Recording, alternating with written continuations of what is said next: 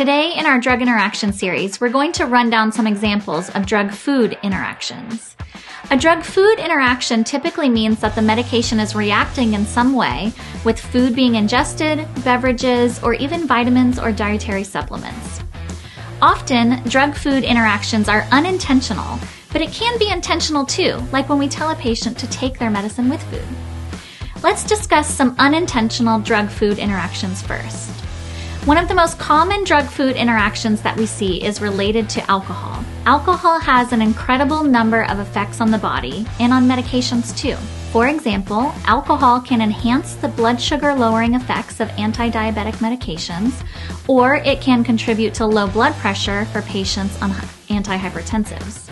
Alcohol also increases the risk of bleeding and would have additive effects for a patient on a blood thinner, like warfarin or Eliquis or even aspirin. Alcohol can also directly interact with some medications. A great example of this is the alcohol metronidazole drug interactions. Metronidazole or flagyl is an antibiotic used to treat a variety of infections from intra-abdominal to gynecologic infections.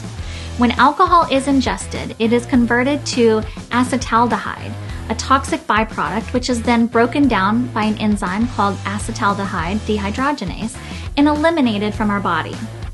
Metronidazole inhibits acetaldehyde dehydrogenase from doing its job, resulting in rising toxic acetaldehyde levels. Now, the reaction and severity of this is unpredictable, with case reports ranging from mild cardiovascular effects like tachycardia all the way to death. We call this a disulfiram like reaction, and this is why any alcohol or propylene glycol containing product is contraindicated both during metronidazole therapy and for 72 hours after a patient takes that drug. Another common drug food interaction is when medications bind directly to vitamins or food ingested and then cannot be absorbed dairy products which contain calcium, or OTC calcium carbonate antacids, calcium vitamins, any of those impair absorption of a variety of medications.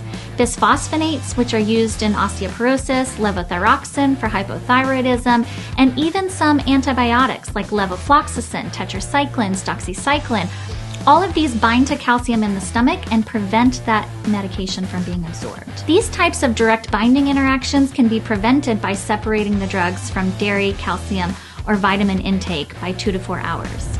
That's the Reinhartz Rundown and our first drug food interactions review. Subscribe for our next update delivered directly to your inbox.